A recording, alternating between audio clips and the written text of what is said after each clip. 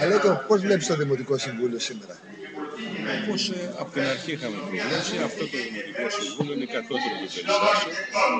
Επί της ουσίας δεν ασχολείται με τα βασικά τοπικο-λαϊκά προβλήματα.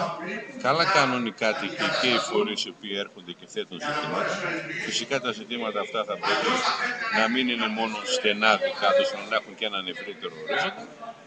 Και από εκεί και πέρα, καλό θα είναι, επαναλαμβάνω, να παρακολουθούμε οι πολίτες ολόκληρη τη συνεδρία για να βγάλουν συμπεράσματα σε σχέση με ποιους και γιατί ψηφίσουν.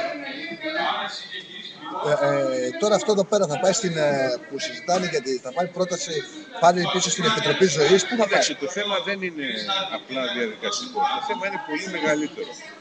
Τι όραμα υπάρχει για αυτή την πόλη; Όλες οι αποφάσεις κινούνται στην κατεύθυνση ενίσχυσης των καταστημάτων του υγειονομικού ενδιαφέροντος. Ουσιαστικά η Βέρα Αργάλα Σαφερά μετατρέπεται σε μια απέραντη φραπεδούπολη, σε μια πόλη όπου κυριαρχούν τα τραπεζοκαθίσματα.